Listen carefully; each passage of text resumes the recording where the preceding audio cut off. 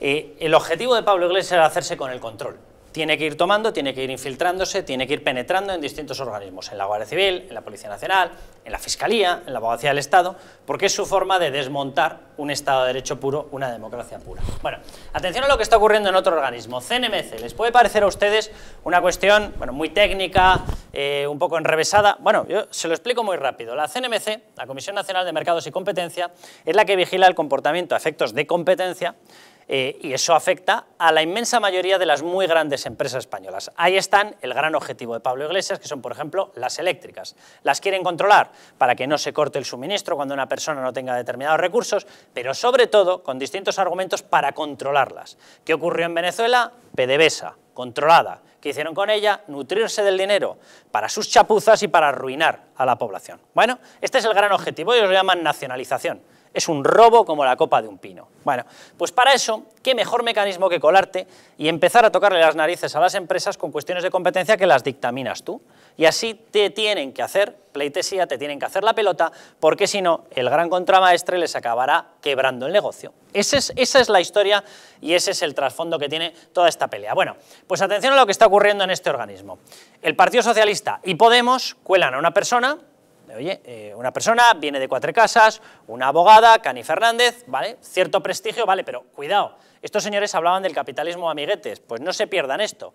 El marido de esta persona, de la que va a ser la nueva presidenta del organismo de competencia, resulta que tiene una de las mayores consultoras, se llama Compás, una de las mayores consultoras internacionales y españolas en temas de competencia. Toma ya, los del capitalismo de amiguetes, resulta que ella, la nueva presidenta, va a decidir qué ocurre con las grandes empresas en competencia y a qué se dedica su marido a asesorar a esas grandes empresas. Bien, muy ético todo esto y muy legal, ¿verdad? Vale, punto uno.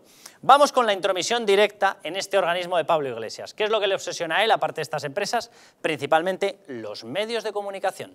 ¿Dónde ha metido en la manita? En el consejero que va a tocar los temas de las televisiones y de los medios de comunicación. ¿Cómo se llama este señor? Este señor se llama Carlos Aguilar. Atención a cuál ha sido una de sus principales frases en el momento de comparecer en el Congreso para tomar posesión posteriormente. Aquí lo tienen, gran frase de este hombre, experto donde los haya. Vamos a ver el siguiente pantallazo, donde aparece diciendo abiertamente que no tiene ni pajolera idea de, qué va esto de competencia. Dice, yo no soy ningún experto en la materia. ¿Y qué hace usted ahí?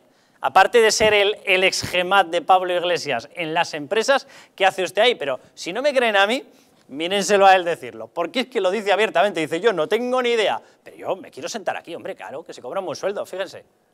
Evidentemente no soy un experto.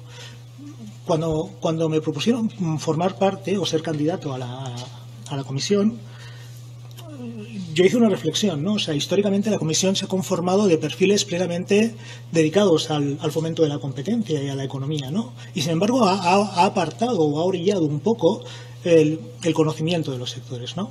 Entonces yo creo que mi propuesta y, la, y de mis compañeros responde a la intención de tener una, una comisión más plural en el sentido de, los ámbitos ¿no? de, las personas que forman parte de ella.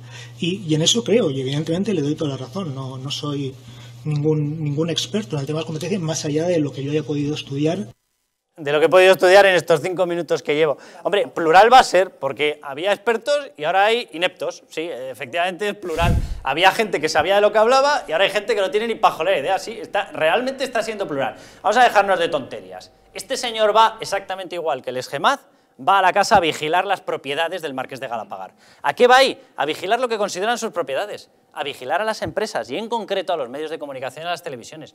Y ha colado este elemento, que por cierto, este elemento cuando presentó el currículum se le olvidó. Cuando presentó el currículum oficial, ¿vale? ante el Congreso de los Diputados, se le olvidó incluir un pequeño matiz, que lo sacamos en OK Diario, y es que había ido en las últimas elecciones generales en el puesto 17 de la lista de Barcelona, en la misma lista en la que iba Jaume Sens y cerrándola Ada Colau en la lista de Encomú Podem, Podemita perdido, al Congreso de los Diputados. Ese matiz se le olvidó, hombre, incorporarlo. ¿Qué cuestión? Este señor no tiene ni va a tener nunca ni idea. Lo que sí que sabe es que para cobrar ese sueldo tiene que complacer al mismo que le vigila la casa, el ex GEMAT, tiene que complacer al gran marqués de Galapagar. ¿Qué, ¿Qué quiere tener? Pues directamente enganchado por determinada parte del cuerpo a las televisiones y a los medios de comunicación. Y qué mejor organismo que este. Así van penetrando estos señores. Esto en plena pandemia, ¿eh? Esto en plena pandemia. No pierden puntada. Aquí no hay puntada sin hilo.